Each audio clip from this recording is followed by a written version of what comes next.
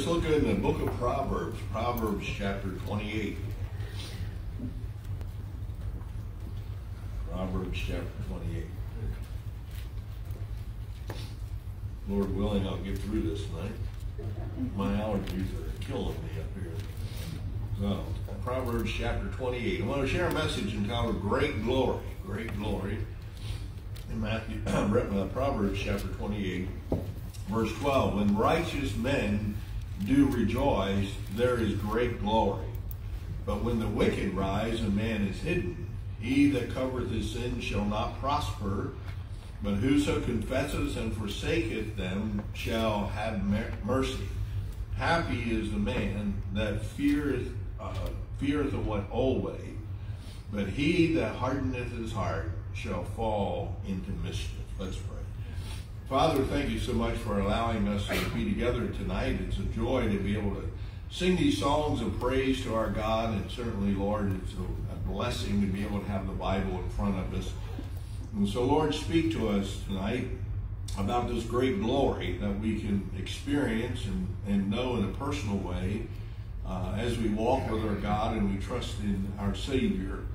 And uh, Lord, I pray that you'll be glorified through everything that'll be said. Certainly, we would pray that if there's anyone that's not sure they're saved, uh, that they would come to know Christ their Savior tonight. And so bless the preaching, I pray, in Jesus' name. Amen. Our text verse is verse 12. It says, When righteous men do rejoice, there is great glory. But when the wicked rise, a man is hidden. Great glory. It's interesting here. He says, when a righteous man do rejoice. And so we need to understand that word righteous. Righteous is a word just simply means to be just or to be lawful. It says uh, in a sim- very simplistic way is just doing what's right. Righteousness. You know, this word righteousness is used 188 times in the Old Testament, and it's used 225 times in the New Testament. And so it certainly speaks to us that if a right when righteous men do rejoice, uh, there's a, there is a great burden, I should say, a great blessing that is placed on those of us that are willing to walk in the righteousness of Christ. Uh, we have no righteousness in ourselves, but Jesus took all our sin upon him and gave to us his righteousness so that we can live a righteous life. Why? Because when a man is righteous, when a man is doing what is right according to what God has so declared what is right, then men will rejoice. And so that's the next word we have to consider. Uh, it says, when righteous men do rejoice. Uh, the word rejoice there means to exalt or to be glad. Now, I'll take one of the songs we sung tonight. They were, uh, all of them were speaking about rejoicing and being happy in the Lord. They were blessed songs, amen. And so, uh, this matter of exaltation or happiness uh, because of the fact of what we experience in our relationship with the Lord. And so, if we are going to be righteous, it is a common reality that there will be rejoicing. And that rejoicing will be abundant, uh, and we'll be able to experience much as far as the presence of God in our life. This word rejoice is used 142 times in the Old Testament. The very first time that this word is used in the Old Testament is in Leviticus chapter 23 in verse 40. And I put that up on the screen for you.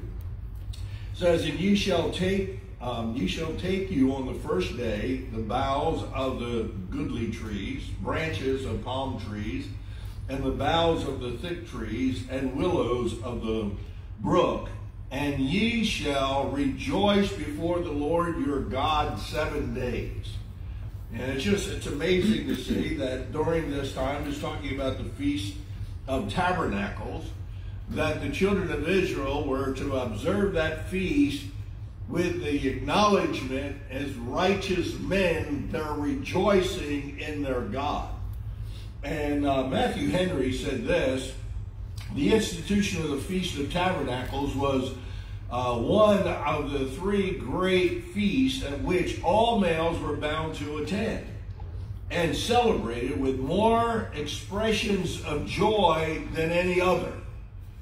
And so, if the Bible, uh, speaks to the fact that men are to rejoice before their God. The first time that, that word rejoice is used in the scriptures, then certainly it would behoove us to learn a lesson that God wants us to come into his presence rejoicing. He wants us to be glad. He wants us to be happy. Matthew Henry goes on to say, they were to rejoice before the Lord during all the time of this feast. God's former mercies to us and our fathers ought to be kept in everlasting remembrance. So, this idea that if God has delivered and God has blessed us and God has promised to meet with us, then as we walk with Him, then we're going to rejoice in our God. We're not going to rejoice in ourselves or rejoice in this world. We rejoice in our God. And so uh, we uh, the first time it is mentioned is in Leviticus 23 and 40. The last time that it's mentioned in the Old Testament, this word rejoice, is in Zechariah chapter 10 and verse 7. It says, And they of Ephraim shall be a mighty man, and their heart shall rejoice as through wine, yea, their children shall see it and be glad, their heart shall rejoice in the Lord. And so the very first opportunity God speaks in reference to rejoicing is in reference to the Feast of Tabernacles. The last time it's mentioned in Zechariah chapter 10 uh, declares the impact of the males rejoicing in their God on their children. And oftentimes, I think we forget that uh, our gladness, our happiness, our rejoicing in our God impacts our children. And I think many a child has been turned away from the Lord because of bad spirit or griping and complaining that is among believers, adult believers in the church. Uh, why is that? Because what are we showing them as being something that we should look forward to? I certainly don't want to be around people that are always grumpy and, and griping and complaining about everything and say, well, this is a wonderful life I live. And I was like, where? Where are you living it? Now, because I don't see it. But then when you get around people and you, you see they're rejoicing in the Lord, there is great glory that is experienced because of their happiness, it stirs your heart to rejoice also. Amen. You know, it's it's always I don't know. It's always easy to say amen in a church where people are saying amen. But if nobody's saying amen and you say amen, then you're singled out.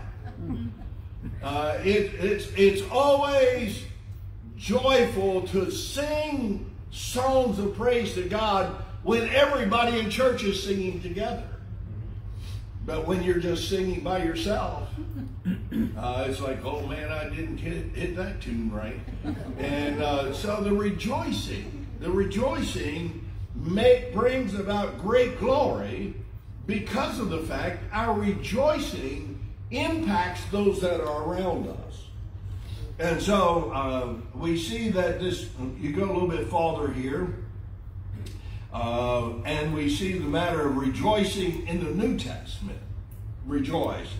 It's used 41 times in the New Testament. The first time this word rejoice is used is in Matthew chapter 5 and verse 12, and it is in reference to persecution. But in Matthew chapter 5 and verse 12 it says, Rejoice and be exceeding glad, for great is your reward in heaven, for so persecuted they the prophets which were before you.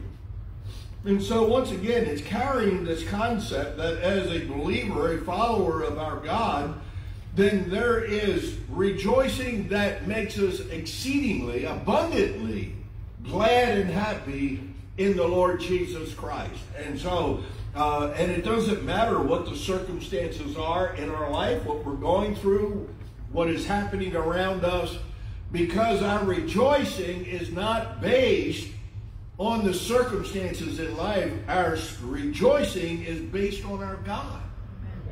And so we're to rejoice and be exceedingly glad. The last time that this word rejoice is used in the Bible, in the, in the New Testament, is in Revelation chapter 19 and verse 7 says, Let us be glad and rejoice and give honor to him, for the marriage of the Lamb has come, and his wife had made herself ready. And so, knowing that the marriage supper of the Lamb, uh, the church is going to be in the presence of our God, then, then we're looking forward to a time of rejoicing and happiness and celebration because of being united together with our Savior. And so, a righteous man, righteous when righteous men do rejoice. When men are doing what is right and they're rejoicing in the Lord, then he says there's great glory. Now, this great glory is kind of an interesting word also. The word glory means to have beauty or to have splendor or honor. And uh, we, we often talk about glorying in Christ. That means he receives all the beauty and all the splendor, all the honor, all the acknowledgement, all the accolades that we can express is placed upon Jesus Christ.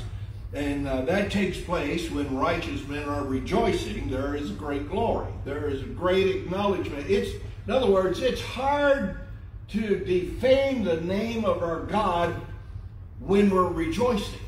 It just, it's not compatible. It doesn't go along with each other. And so when we rejoice, it's a natural thing that God is going to be glorified. Why? Because you're not going to rejoice if you're not being righteous.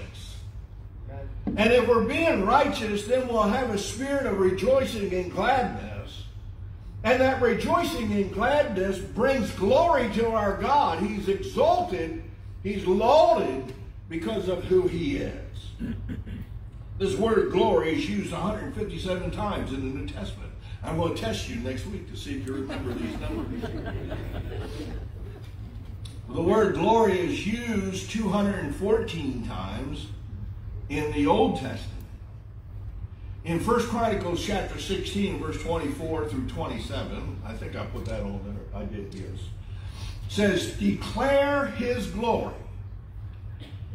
It's just interesting how the, it, the Bible's telling us to do what is right, to rejoice, so there'll be glory, but the reality is you need to declare, to show for, speak for, testify the fact of the glory of God declare his glory among the heathen, his marvelous works among the nations, for great is the Lord and greatly to be praised.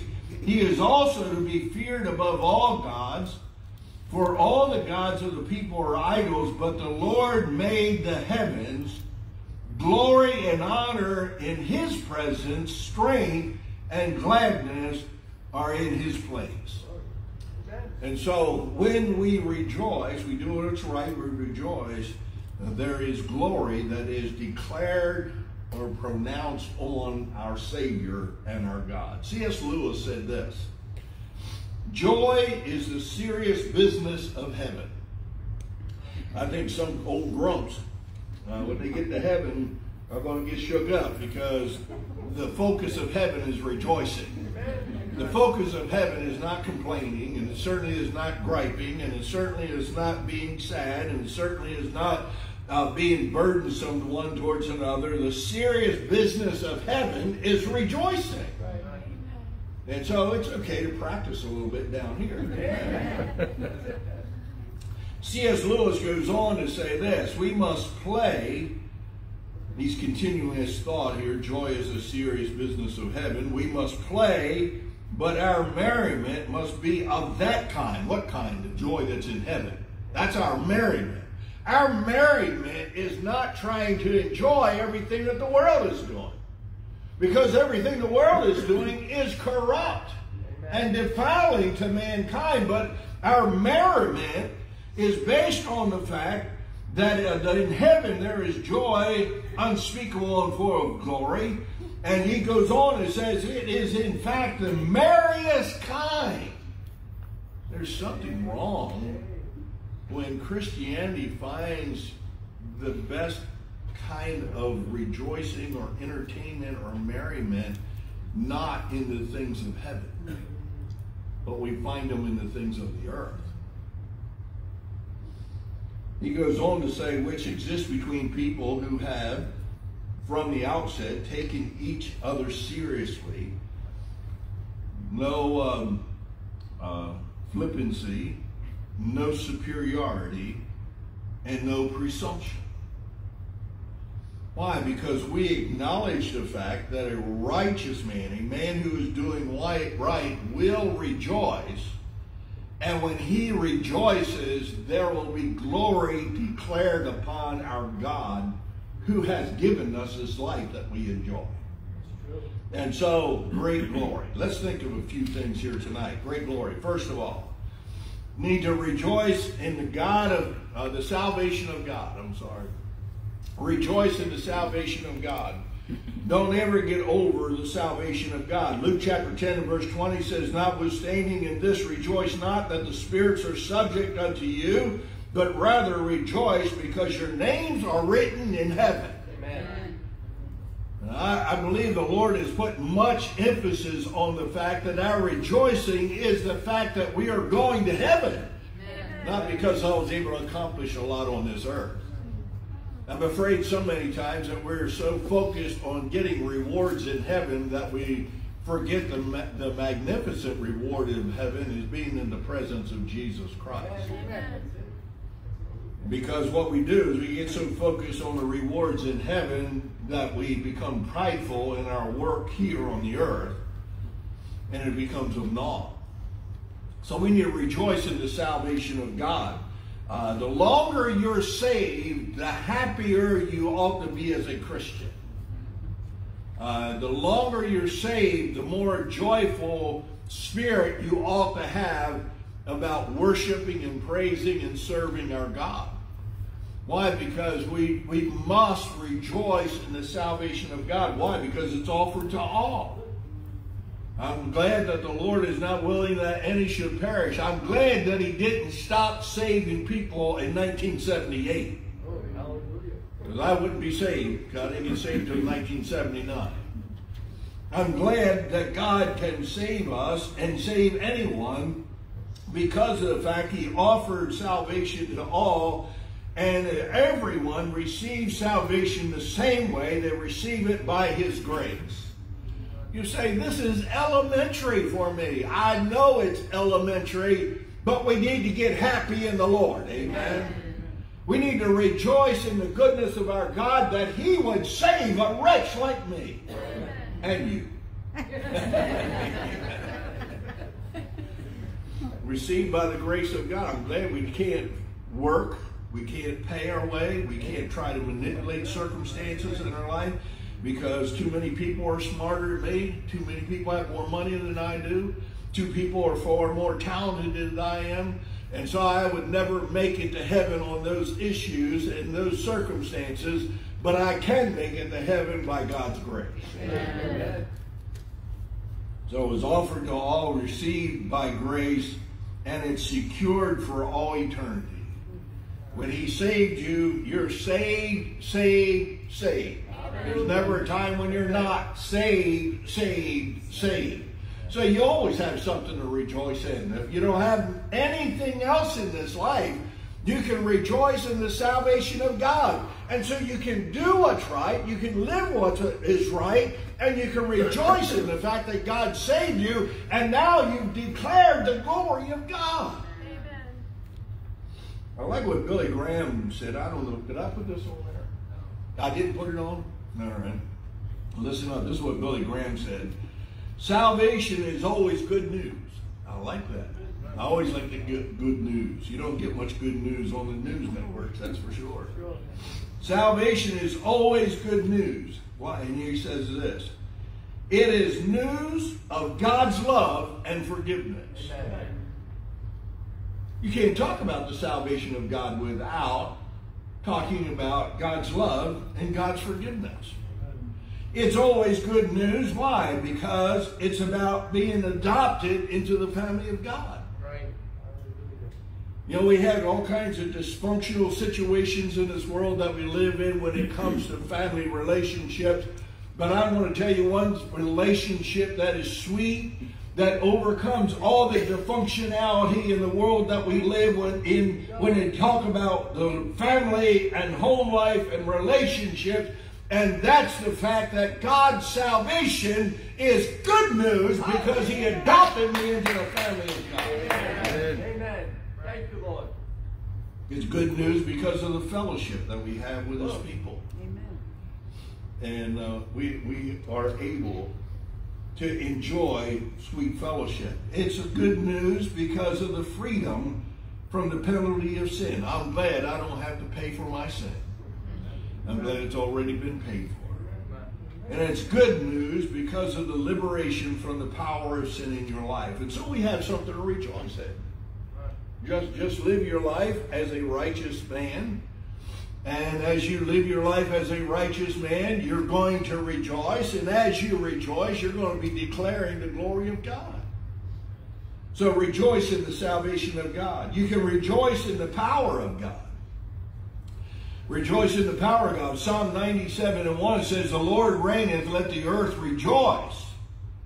Let the multitude of the isles be glad thereof. And so knowing this, we can rejoice in the power of God because it is the Lord who reigns.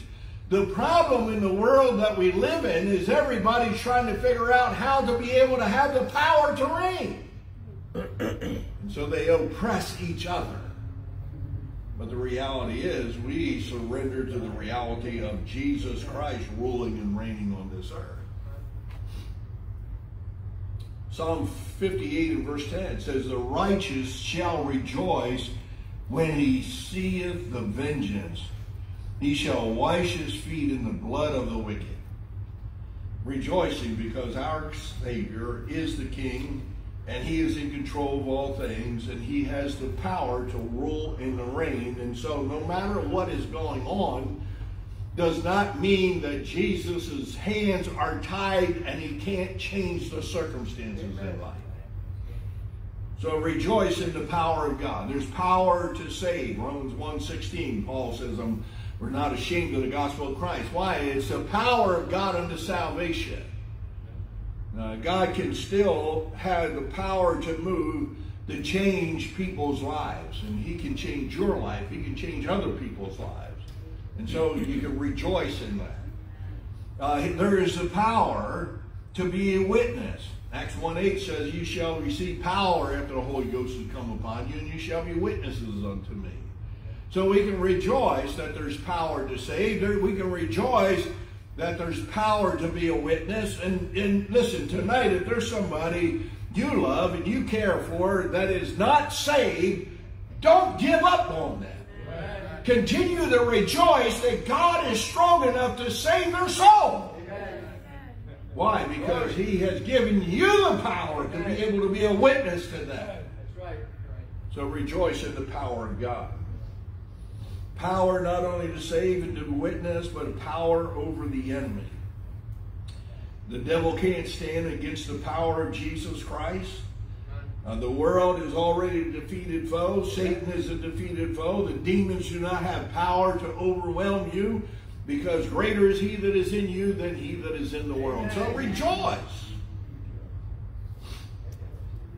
Power to live. Ephesians 1, Paul talks about us being able to have the power of God to live our Christian life. Uh, years ago, I heard this guy giving a testimony, and he was like, Oh, the Christian life is so hard. Oh, the Christian life is, is too overwhelming. oh, wait a minute. If Jesus Christ is on the throne of your heart, then you have the power to live your Christian life. God would not say a righteous man does rejoice and then there is great glory if he did not give us the power to do so. I believe that God gives us the power to live our life and there's the power of the Word of God. The Word of God is quick and powerful and sharper than any two-edged sword. Don't sell the Word of God short. Give people the Word of God. That's what is going to impact. Your opinion's not going to impact them. But the Word of God will impact them. And so rejoice in the salvation of God. Rejoice in the power of God. D.L. Moody said this. If God is your partner, make your plans big. I like that.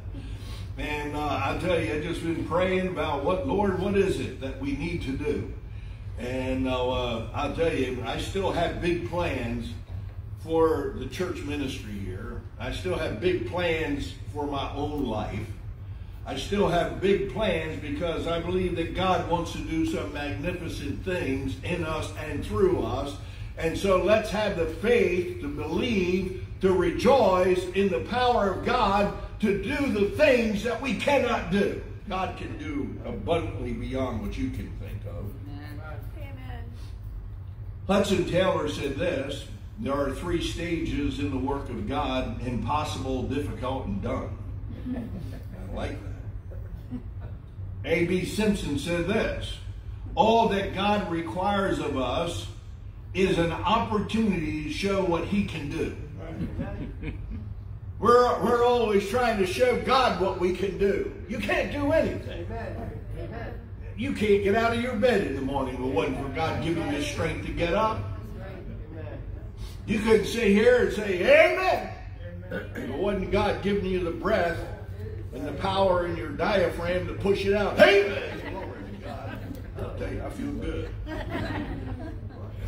What am I saying? A righteous man, a person who is doing what is right, will rejoice and bring glory to God because he rejoices in the salvation of God and he rejoices in the power of God. But he also rejoices in the holiness of God. Psalm 97 and 12 says, Rejoice in the Lord, ye righteous. Oh, that word righteous keeps coming up. Rejo- rejoice in the Lord, ye righteous, and give thanks at the remembrance of his holiness. And uh, we worship God in holiness. Back in Psalm 99, uh, speaks in reference to the fact of worshiping God in his holiness. And uh, so we, we in, uh, in Christianity have developed the mindset that we must create an atmosphere that we then identify as worship. But in Psalm 99, in uh, verse 9, says, Exalt the Lord our God and worship him at his holy hill, for the Lord our God is holy. So we rejoice in the holiness of God. We, we, we listen, we cannot expect to enjoy worship when we have a preconceived idea about what worship is apart from acknowledging the holiness of God. Because if you're trying to create an atmosphere of worship and you deny the reality of the holiness of God, that there is none like our God, Amen. that He is above all things of this earth, and that He is the one who is absolutely holy and not tempted and not desiring to corrupt mankind, and you come in and worshiping him without that concept, you are creating your own concept of worship that defies and rejects the holiness of God. And so we need to rejoice in the holiness of God. I'm glad I have a holy God. Amen. I tell you, you see different people, you see different Christians fall into immoral relationships and fall by the wayside. And I think, praise God, I'm glad I wasn't underneath of their leadership. You see the world get so corrupt and so apart from God, and you look at that and you think, man, I'm glad that my God is not manipulated by this world. I'm glad my God is greater and bigger and stronger and more powerful and more righteous and more holy than anything that is in this world. And as I worship Him, I want to have a spirit of worshiping in holiness because He is holy. How in the world can I come into His presence? How in the world can I declare His glory if I'm not coming with it in the realm of the holiness of God? Amen. We worship holiness. There's victory in holiness. Psalm 106. Psalm 106 and verse 47. Save us, O Lord our God, and gather us from among the heathen to give thanks unto thy holy name, and to triumph in thy praise. See, there's victory in praising God. So if we are righteous and we are pursuing the Lord to rejoice and celebrate who he is, then it is a natural thing that we are able to be victorious in our life as we lift up his holiness. So rejoice in the holiness of God. Worship in holiness, victory in holiness. There's hope in holiness. Over in Romans chapter 5, in verse 5, and the Apostle Paul speaks about the holiness of God and the relationship of the believer with his God. If I get over there real quick, I'll read it for you. Romans chapter 5 and verse 5, it says, And hope maketh not ashamed, because the love of God is shed abroad in our hearts by the Holy Ghost, which is given unto us. So our hope that we have is based upon the presence of the Holy Spirit that is in us. He brings to us and embeds in us the holiness of God. And then there's a live, we live in holiness. Romans 12, 1, Paul says, I beseech you therefore, brethren, by the mercies of God, that you present yourself, your bodies, a living sacrifice, which is holy, he tells us. Holy, acceptable unto God, which is your reasonable service. And that throws us right back to our text verse. A righteous, righteous men do rejoice and bring forth the glory of God. And with great glory. Charles, I should say, not Charles, J.C. Riley said this. Holiness, and I thought this was a good explanation of this. Holiness is the habit of being of one mind with God. Let me read that again. A little short sentence, but it is deep in theological thought of what we're supposed to be and how we're supposed to rejoice. He says, holiness is the habit. There's a lot of things that you do in your life, you do by habit. Now, remember before I got saved, drove tractor and trailer, I smoked three packs of cigarettes a day. I'd get in my truck, I'd light up a cigarette. When I back in the truck into the dock, I lit up a cigarette. When I was getting ready to pull out of the dock, I lit up, lit up a cigarette. I'd have a cup of coffee, I'd light up a cigarette. Why? Did I feel like I needed that cigarette? No, it was a habit. It was how I lived my life. the reality is, holiness is the habit of being of one mind with God. So you don't question God, you surrender your thoughts to our God. He goes on and says, according as we find his mind described in Scripture. So, in other words, we don't make up a new mind of God to fit into the culture and we live in.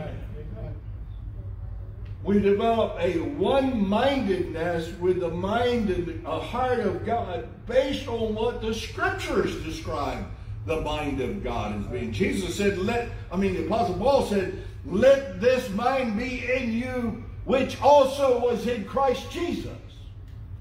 It's habitually living your life thinking the way that God thinks according to what His Word has been revealed to you so you have a grasp on His mind. It is the habit of agreeing in God's judgment, hating what He hates, loving what He loves, and measuring everything in the world by the standard of His Word. You say, well, why would I do that? Because you want to rejoice in the holiness of God.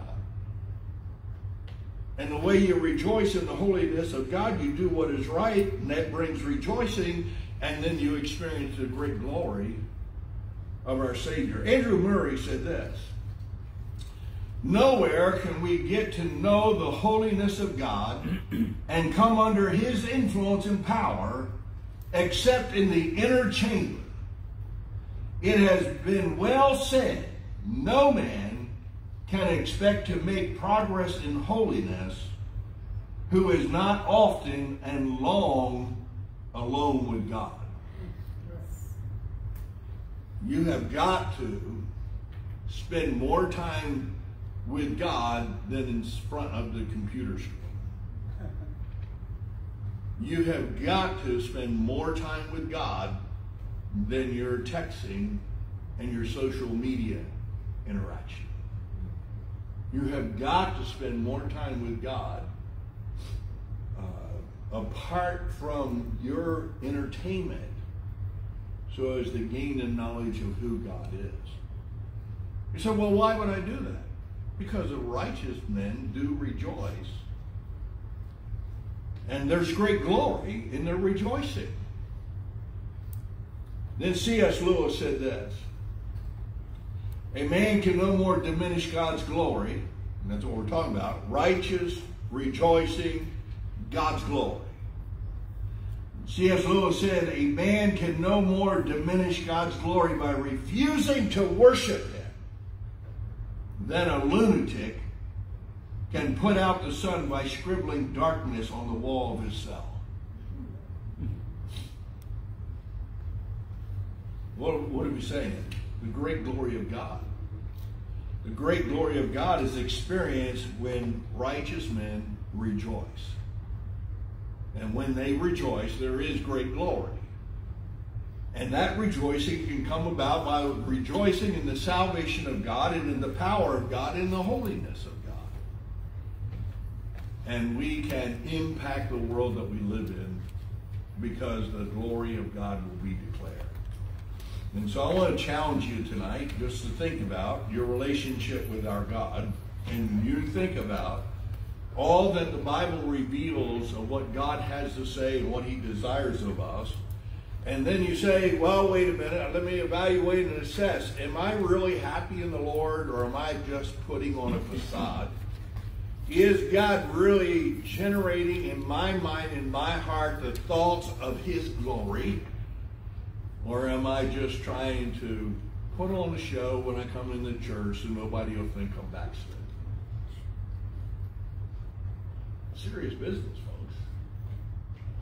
And so we can rejoice in the Lord. You say, well, how can I do that? Well, just start doing what's right. Be righteous. Just start doing what's right. You'll get happy in the Lord. You'll get excited in Christ. And then you'll be able to start lifting up the name of our God and bringing great glory to Him. Let's pray. Father, thank you so much. Thank you for this thoughts here tonight about great glory. Uh, help us, Lord, to know your mind, know your heart, so that we might be able to do what is right and just and good, uh, so that we might be happy in our God. And Lord, help us. Help us never to move away from rejoicing in the salvation of God, and the power of God, and the holiness of.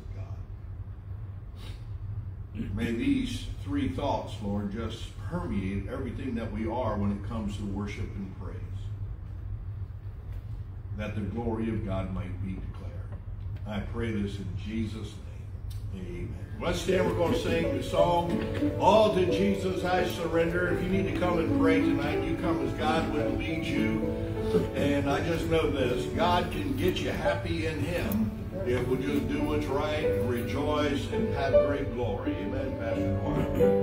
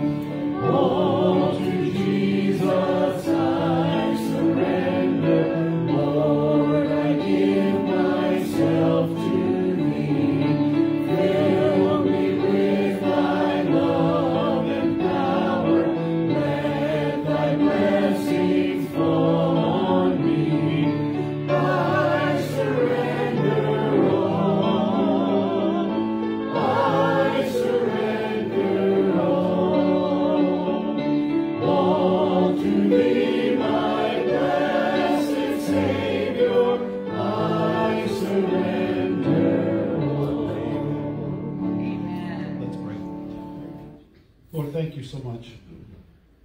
Lord, we have so much to rejoice in. We have so much to be thankful for.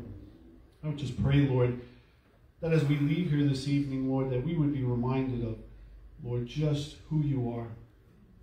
And that we would leave here rejoicing in who you are, in your holiness, Lord, in your power. And Lord, that others would see the joy on our face and know, Lord, that there is something different. Lord, may we be a witness and a testimony of the love of God, not only through our words, but through our lives. That others may see a difference in us, that others may see Christ in us. And Lord, give us opportunities this week, Lord. Open doors for us, Lord, to share the gospel message with others. That they too can have that joy in their heart. And that they too, Lord, would just put forth the glory of God. Lord, we thank you for all we've heard. Lord, we thank you for your message this evening. And we pray, Lord, you would bless us now with your, uh, dismiss us now with your blessing. In Jesus' name we pray. Amen.